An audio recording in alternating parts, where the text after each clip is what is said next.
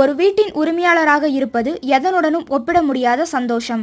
அந்த அபரிமிதமான சந்தோஷத்தில் நம்மில் பெரும்பாலானோர் எவ்வளவு சீக்கிரம் முடியுமோ அவ்வளவு சீக்கிரமாக வீட்டுக்கடனை பெறுவதற்கான செயல்முறையை முடித்து வீடு கட்டி முடித்துவிட வேண்டும் என்கிற ஆர்வ மிகுதியில் வீட்டுக்கடன் விண்ணப்பத்தில் நுண்ணிய எழுத்துக்களில் அச்சிடப்பட்டுள்ள பல்வேறு விதிமுறைகள் மற்றும் நிபந்தனைகளை பொறுமையாக படிக்காமலேயே கையெழுத்திட்டு விடுகிறோம். இருப்பினும் வீட்டின் உரிமையாளராகும் மகிழ்ச்சியுடன் ஒரு கடனாளியாக பொறுப்புகளையும் உடன் கொண்டு வருகிறது.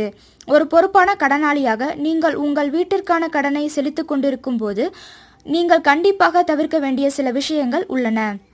கடனை திருப்பி செலுத்துவதில் ஏதேனும் தவறுதல் நிகழ்ந்தால் நீங்கள் நீண்ட காலத்திற்கு சிக்கல்களில் மாட்டிக்கொள்வீர்கள். ஒரு விஷயத்தை மனதில் வைத்துக் கொள்ளுங்கள். இஎம்ஐயை கழித்துக்கொள்ள போதுமான தகை உங்கள் வங்கிக் கணக்கில் இல்லாத ஒரு நிலைமை ஏற்படலாம். பிறகு அபராதத்தை செலுத்துவதால் விஷயங்கள் சரியாகிவிடாது. இதுபோல பலமுறை நிகழ்ந்தால் உங்கள் நர்மதிப்பு மதிப்பெண்கள் பாதிக்கப்படும். ஒரு கடனாளியாக நீங்கள் பல்வேறு பயன்களை அடைவீர்கள். மாதாந்திர வாடகையை பற்றி கவலை இல்லை அத்துடன் வரி தள்ளுபடியும் கிடைக்கும். உண்மையில் தேவைப்பட்டால் நீங்கள் மற்றொரு கடனை கூட பெற முடியும். நீங்கள் அதற்கு தகுதியானவர்.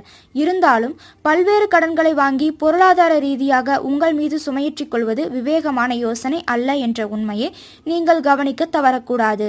நீங்கள் ஒரு வீட்டுக் கடனை கட்டி கொண்டிருக்கும் போதே மற்றொரு கடன் வாங்க முயற்சிக்க வேண்டாம். உதாரணமாக சொல்லப்போனால் வீட்டுக்கடன் நிலுவையில் இருக்கும்போதே ஆட்டோமொபைல் கடன் போன்றவற்றை வாங்க வேண்டாம்.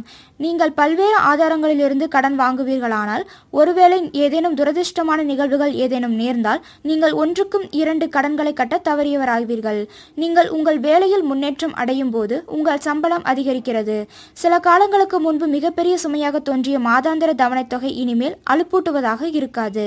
இதனாலேயே வீட்டுக்கடன் சுமை பற்றி நீங்கள் மிகவும் வசதியாக உணர்வீர்கள். ஆனால் உங்களுக்கு மாதாந்திர சம்பளம் உயர்ந்திருந்தால் நீங்கள் அதிகமாக சேமிக்கலாம் மற்றும் உங்கள் கடனை முன்கூட்டி செலுத்திவிட முடியும்.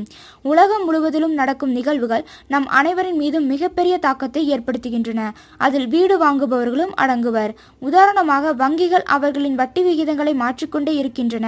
நீங்கள் உங்கள் கடனை ஒரு வங்கியிலிருந்து மற்றொரு வங்கி வட்டி விகிதங்களை குறைத்துள்ளது என்பதற்காக அந்த மற்றொரு வங்கிக்கு மாற்றினால் அது உங்கள் மாதாந்திர தவணை தொகையை கணிசமாக குறைக்கலாம். இது போன்ற செய்திகளை உடனுக்குடன் அறிய டாப் நியூஸ் சேனலை சப்ஸ்கிரைப் செய்யுங்கள். நன்றி வணக்கம்.